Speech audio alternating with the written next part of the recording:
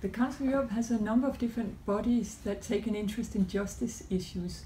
And two of them are particularly interesting because they are hmm. unique at the international level, and that is the Consultative Council of European Judges and the Consultative Council of European Prosecutors, CCJE and CCPE, they are known as. They are the only international bodies made up entirely of serving judges and prosecutors. And what they do is they take a particular interest in all the issues that affect the situation and status of judges and prosecutors in the member states.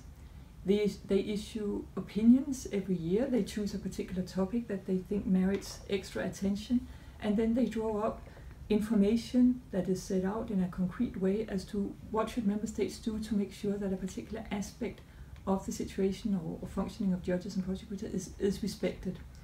They have drawn up opinions, if we look at the judges, on very diverse issues such as the independence of judges, the funding of courts, the quality of judicial decisions, the evaluation of judges, the role of judicial councils, the role of the judge in society, uniformity of practice within courts, and so forth.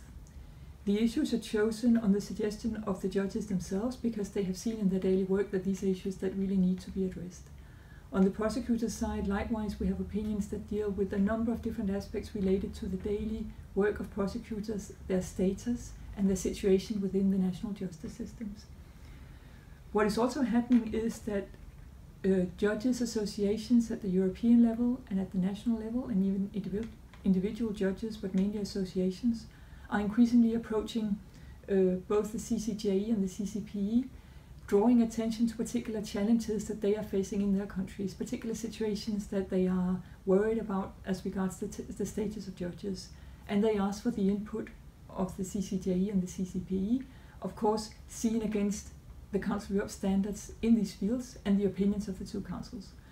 And by drawing up statements or opinions, the CCJE and the CCPE provide practical guidance to the, their, their colleagues in the member states about what they should take into account when they have a dialogue with their authorities about their situation. The two councils also ad- advise the Secretary General on a regular basis about particular situations or, or scenarios that might merit attention.